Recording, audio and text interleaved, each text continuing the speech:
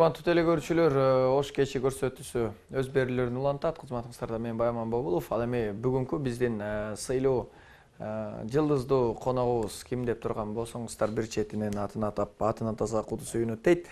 Обончу жана аткаруучу. Азыркы убакта ош мамлекеттик университетинин социалдык жана тарбия иштери боюнча проректору филология илимдеринин кандидаты ырчы агабыз түмөнбай колдошов. Бүгүн бизде конокто саламатсызбы агай саламатчылык кош келдиңиз ушак бола кутман кечиңер менен үй жай аманбы кудайга шүгүр баары жакшы майрамды кантип тосуп айымдарды куттуктап алдыңызбы ооба бул эми үй бүлөлүк майрам ошол үй бүлөбүз менен майрамды өткөрдүк бүгүн кечээ катуу уурдаган экенбиз бүгүн тамак бүтүп кирип болуп турган кезибиз албетте эми алгачкы эле суроо агай э, ушул деги чыгармачылыгыңыздагы э, акыркы буйруса азырынча элге клип тартылып аранжировкага түшө элек чыгармаңыз жөнүндө кичине кеп кылсак.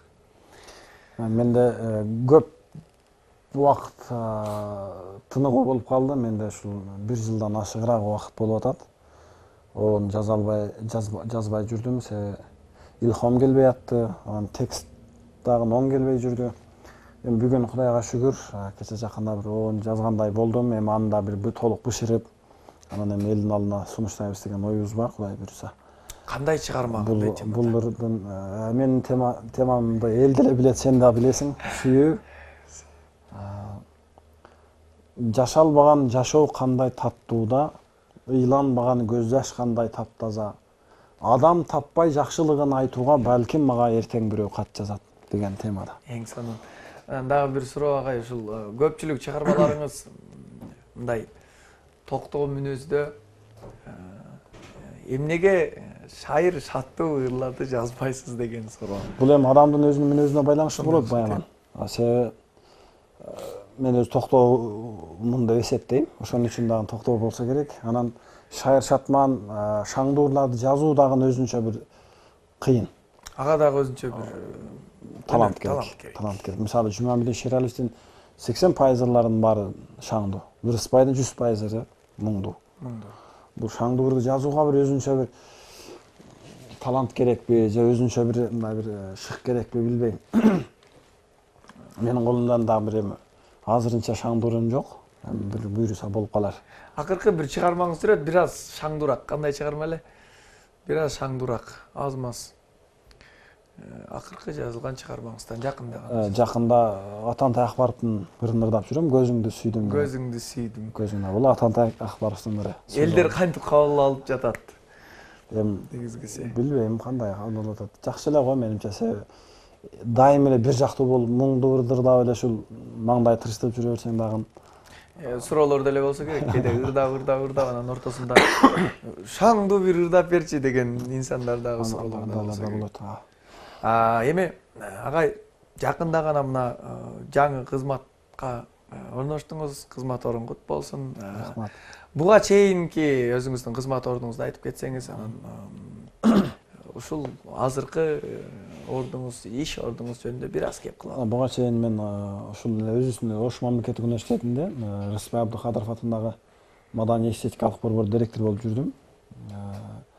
Азыр ошол төрт беш жылдан бери ошол ишти аркалап эми ушул тарбия департаментинин алкагындагы иш чараларга катышып үстөт мезгилден бери эле ушул коомдук иштериме катышып жүргөнбүз эми ушул системада ушул тегерегинде жүргөн элек. Бүгүн эми ушул биз дайындалдык замирбек сабыржанович бөжөновдун ордуна эми агай бир топ иштер жасап кеткен баардык уюштуруу иштери өзүнүн деңгээлинде жогорку деңгээлде уюштурулуп жүргөн эми мен дагы ошол замирбек бөжөновдун жасаган иштерин андан ары өркүндөтүп улантып кеткенге деңгээлин түшүрүп албаганга аракет кылып атабыз катарыбызга жаңы эле кошулган теле көрүүчүлөрүбүзгө дагы бир жолу кутман кеч дейли биз көрсөтүүбүздү улантабыз. Биздин бүгүнкү жылдыздуу коногубуз обончу аткаруучу агайыбыз түмөнбай колдошов агайыбыз биздин студияда биздин сыйлуу коногубуз. Эми агай жакшы суроолор болду анан мүмкүн болсо ушул акыркы чыгармаларыңыздан бирди жан дүйүндө жаңыртып бериңиз жаңы деле оон жок. Баягы быш элеге ондурдасам дагы туура эмес болуп калар ошон үчүн мен мурдагылар мандилерди алып кирип кеткенге аракет кылайын. Бүгүн эми ош кечинде отурабыз ошон үчүн ошту неге сен сагынбай жүрөсүң ырдап берейин.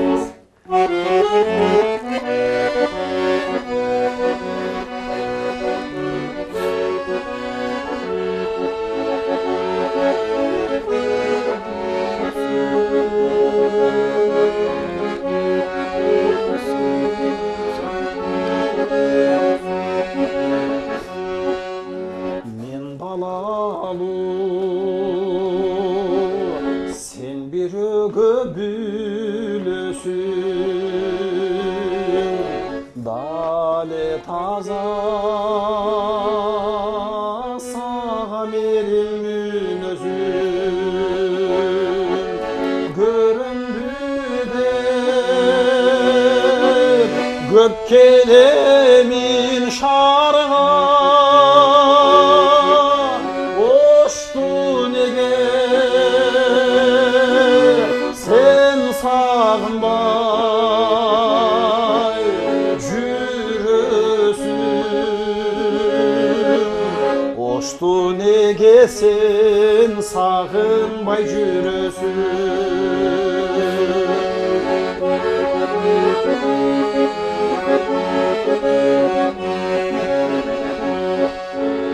Koştun tapkan Mağacağım gün özüm. İstenkip bek Macürüm tal bir özüm. Yandır seni Bir gül gözür dep gelir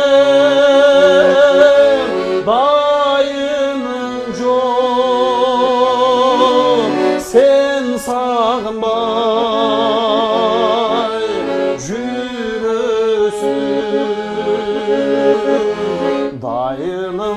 Сен сағынбай сезім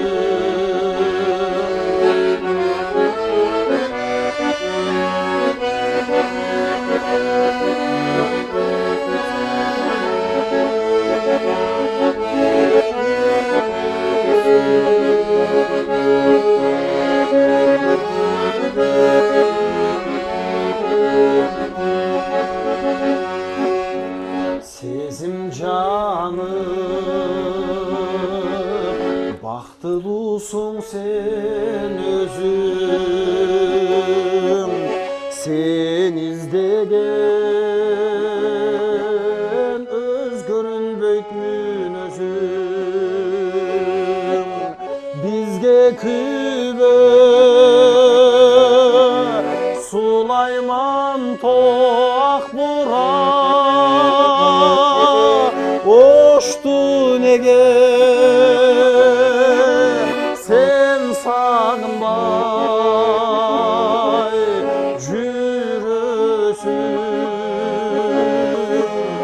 ошту неге сен сагынбай жүрөсүң ошту неге сен сагынбай жүрөсүң аба агай ушул э, ырдын сөзү кимге таандык бул ырдын сөзүн токтогул кенжеев деген белгилүү акын журналист абабыз жазган.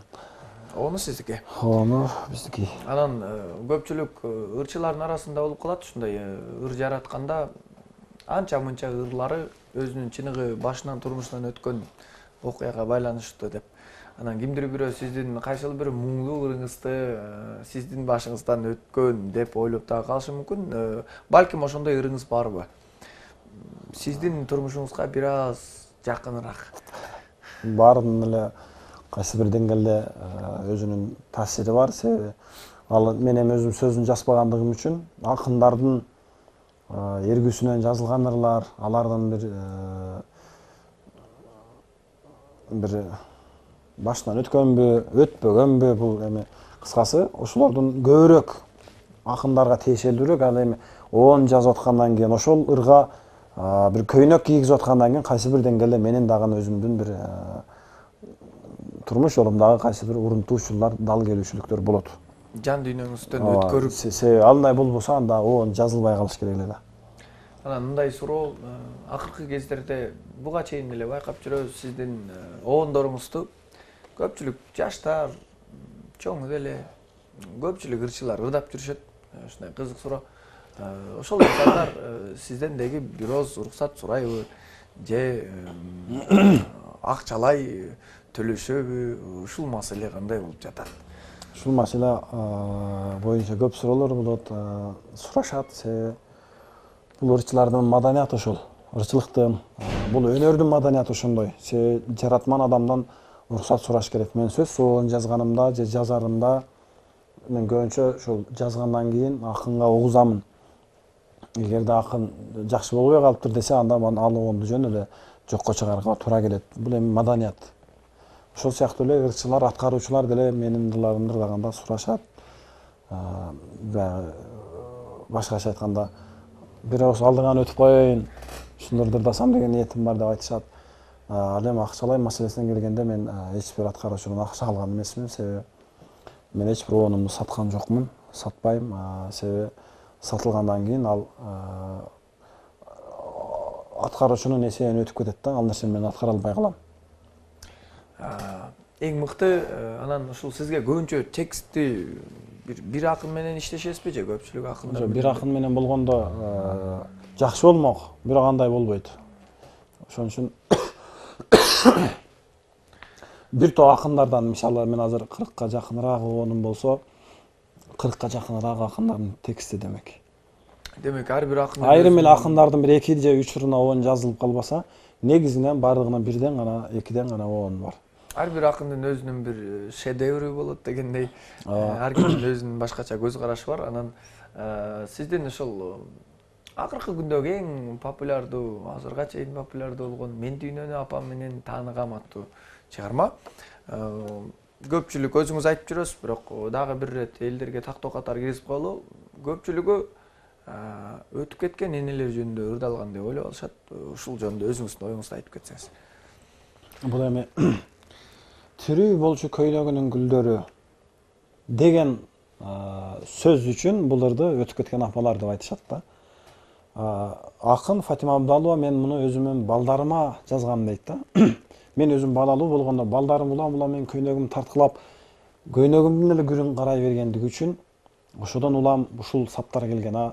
Бүгүн фатима абдалованын апасы токсон эки токсон үч жашка чыкты менин апам алтымыш төрт алтымыш беш жашка чыкты авторлордун апасы тирүү болгондон кийин албетте бул тирүү апалар үчүн бул ону баягы биз апабызды көйнөгүнөн тааныган мезгилде биз эмгектеп аткан мезгилде элек ал мезгилде биз үч жаш же эки жашта элек ошол мезгилде апабызды биз көйнөгүнөн тааныган учур эле а бул ыр жазылганда акын отуз же отуз беш жаш балким кырк жашта болгон ошон үчүн ал өткөн чакта кайрылып атат да негизги ушул ырдын жалпы ырдалып жүргөн вариантынан деги текст узун эле э кийинки ырдалбай жүргөн бир куплет ырдалбайт себеби мен аны ырдаган эмесмин себеби өтө эле узак болуп кетпесин үчүн зеригиштүү болуп кетпеш үчүн ошон үчүн ошондогу баягы мен апамды күлкүсүнөн тааныгам дегенде акыркы жыйынтыктоочу сап катары берилген да берилген апаңызга арнап ыр жазылды буюрса атаңызга арнап оон чыгардыңызбы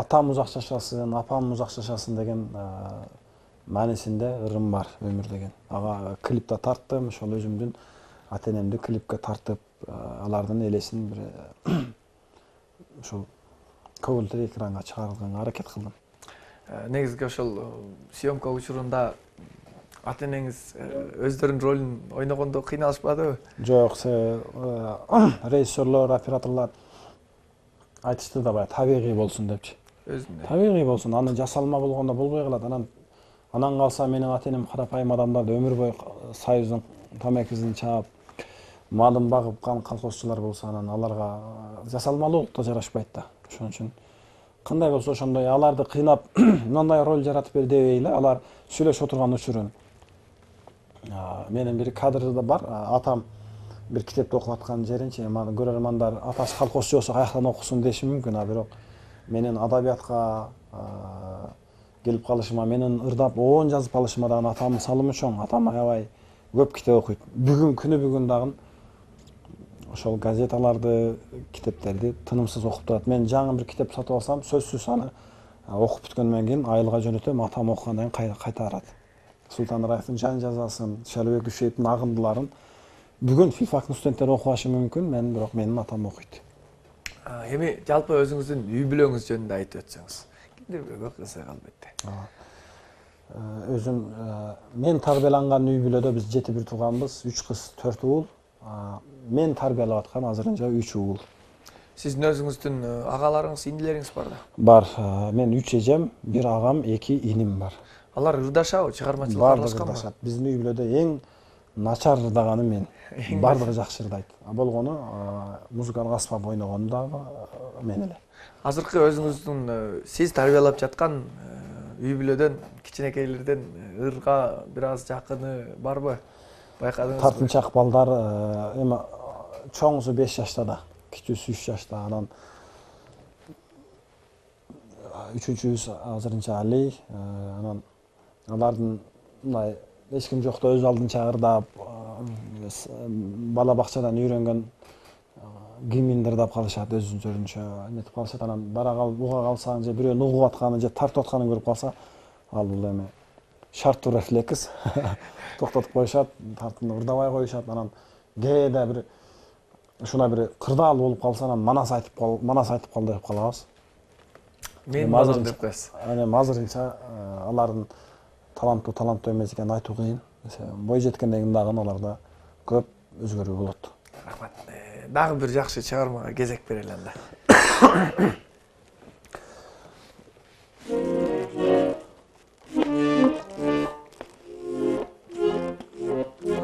анда мен мен бир аз сыркоолоп турам ошон үчүн диапазону кең ырларды эмес жеңил эле ырларды ырдап бергенге аракет кылайын бул сатканбай момуналиевдин сөзүнө жазылган сиз жөнүндө деген ырды ырдап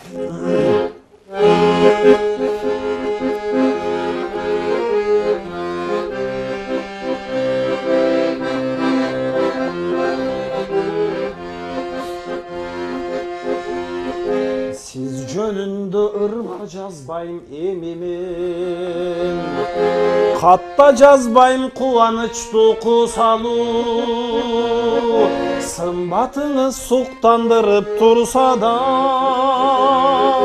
жүрөгүңүз эркеңиз да туушалуу сымбатыңыз суктандырып турса да жүрөгүңүз эркеңиз да туушалуу сиз жөнүндө ырлар жазбайм эми мен. Кечириңиз тынчыңызды алдым көп сезимиңиз селектигин байкабай тажатыпмын айта берип сүйөм деп сезимиңиз сенектигин байкабай тажатыпмын айта берип сүйөм деп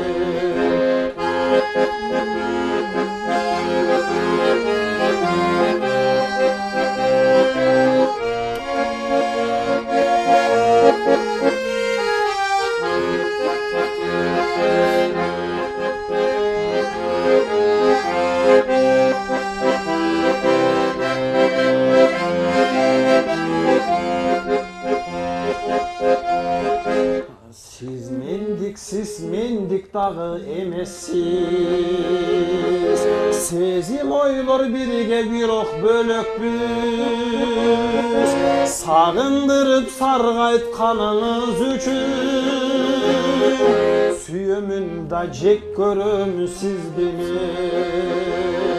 Sağındırıp sargayt kanınız üçün. Suyumun da cek görüm siz beni жөнүндө ырлар жазбайм эми мен